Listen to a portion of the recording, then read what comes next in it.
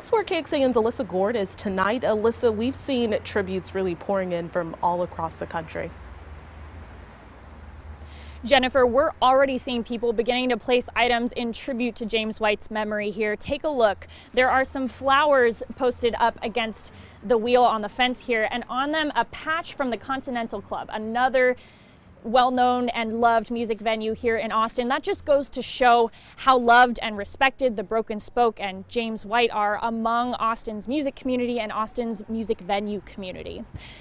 If you've never had the pleasure of going to the Broken Spoke, White and his family members were the heart of that operation. I spoke with White's family today and they tell me he'd been sick for about two months and died of congestive heart failure. They tell me White wanted to build a place like no other where people could come and have a good time and listen to country music. After he built this honky tonk, he named it the Broken Spoke. And among those publicly sharing their grief over White's loss is Ray Benson of Asleep at the Wheel. Benson tells me he first got a gig playing at the Broken Spoke in 1973 and was friends with White ever since. In a tweet today, he noted White made him feel like family.